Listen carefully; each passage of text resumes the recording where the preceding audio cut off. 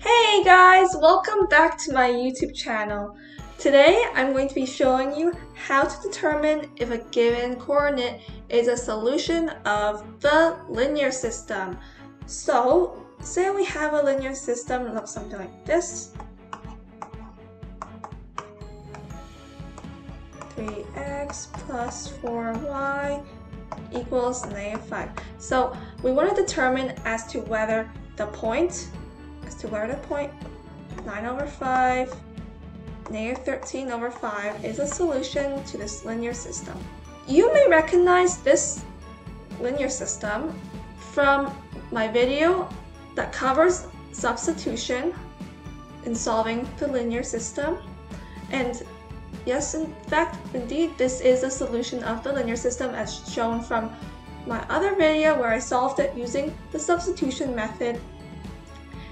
However, let's say that we didn't know as to whether it was a solution and let's say after solving that system, you want to check if your answer is correct. You want to check if your answer is correct and to do that, we have to basically plug this coordinate back into the linear system to see if the left side equals right side and if it satisfies both equations. So to do that, we have to basically substitute in this in, right? And this is basically our x, 9 over 5 is our x, and our y is negative 13 over 5. So we have to substitute this back in, right, into each of these equations. So let's look at the first equation.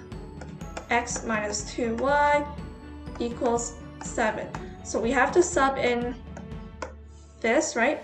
x equals 9 over 5 and y equals negative 13 over 5 corresponding here, right?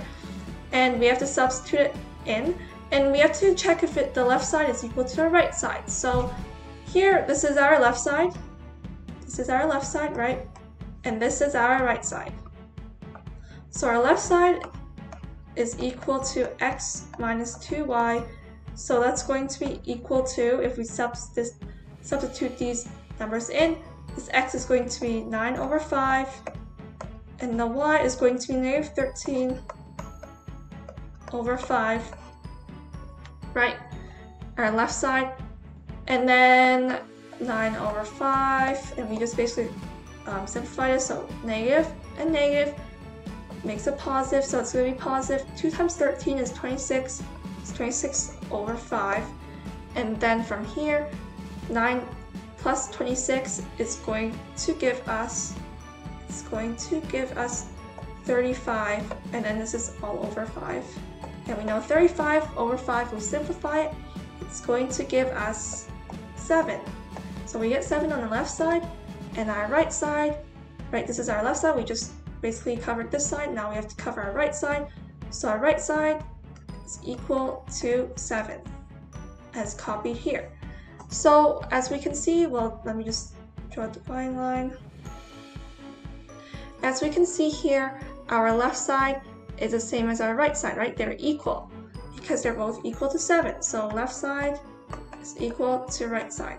And since the left side is equal to the right side for this first equation, right, which was this equation, we just copied it here.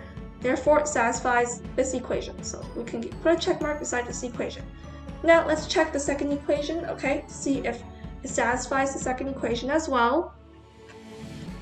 So the second equation was 3x plus 4y equals to negative 5. And from here, we just have to plug in our x and our y values as shown before. So we have to substitute our x value, which is equal to 9 over 5.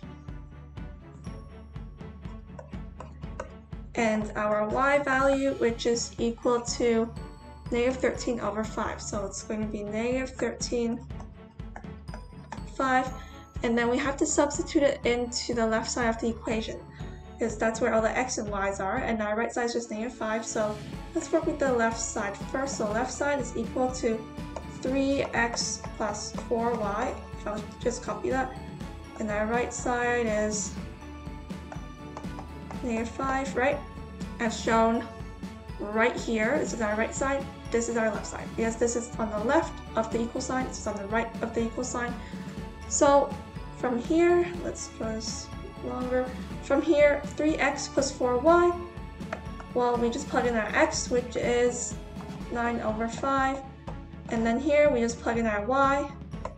Right, so 4 times y, y is negative 13 over 5. And then just simplify it. So 3 times 9 is 27. This is over 5. And then 13 times 4 is 52. So we write 52. And we also have a negative here. So it's going to be negative 52 over 5 from here. And then simplifying that, we basically get negative 25 here, right? 27 minus 52 so it's negative 25 and we can basically combine them because we have a common denominator. Our denominator is 5, right? So that's how we can do that. So it's over 5 and negative 25 over 5 is the same as if you basically do negative 25 divide by 5, it's going to be negative 5. So we have simplified that. And our right side, hey, is also equal to negative 5. So our left side, in this case, is equal to right side. So that's great. And so that means that it also satisfies this equation. So here we have satisfied both equations using this solution. So this in fact is a solution of the given linear system. So therefore we can write that therefore therefore 9 over 5 negative 13 over 5 is a solution of the system. This system right here. So now let's say we are given another linear system that looks something like this, and we are to determine as to whether the point 0.82 is a solution of the system. So same thing as before, we have to check if the left side is equal to right side, and if basically x being 8 and y being 2 satisfies both equations. So first equation, we look at 3x minus 2y equals 20. So this equation right here, right, just copied it here, and we are going to check the left side and the right side. So we're going to sub in our x, which is 8, and our y, which is 2. y equals 2. And then here it's going to be left side is equal to 3x minus 2y, so 3x minus 2y. Our right side is equal to 20. Just like that. And then I'm just going to divide this up. Okay, so x is equal to 8, so I'm going to plug in x and replace it with 8. Our y is equal to 2, so I'm going to plug in our 2 right here into this y right here. So replacing the y right here with 2, replacing the x right here with 8 because x is equal to 8 and y equals 2. So 3 times 8, now we just simplify this, so 3 times 8, we get 24, and this is 2 times 2, it's going to be 4, and we have to subtract them, showing the subtraction sign, and then we see 24 minus 4 is going to give us 20. So hey, our left side and right side, they are equal. Satisfies? Great! So Thus, we satisfy the first equation. So great, we satisfy this one. And now we have to check the second equation before we even draw any conclusions about whether this point is a solution of the linear system. We're going to see if this point right here satisfies the second equation. So our second equation was negative x plus y equals 9. So I'm going to copy that right here, negative x plus y equals 9. And we are going to sub in this point, right? So we're going to sub in that point, which is basically x equals to 8 and y equals 2 from here, right? x equals 8, y equals 2. So I'm going to sub this basically into here. So we only have x and y on the left side, just like before. So left side we just sub it into our left side then. So the left side is equal to negative x plus y, right? our right side is equal to 9. So from here, we just sub in our x. x is 8, so this 8, this is going to be 8. So 8 in this x, and then y is going to be 2, shown here, plug in 2 right here. Negative 8 plus 2 is negative 6. Left side is equal to negative 6, right side is equal to 9. And negative 6 is not equal to 9. And since negative 6 is not equal to 9, thus left side is not equal to right side.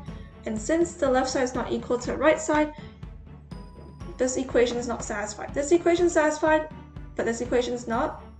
Okay, so that basically means that this point is not a solution. So this 8, 2 is not a solution to the linear system.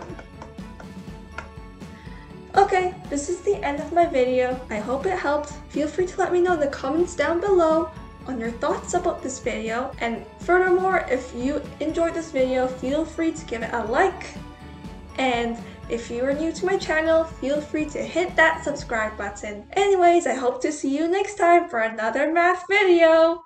Bye!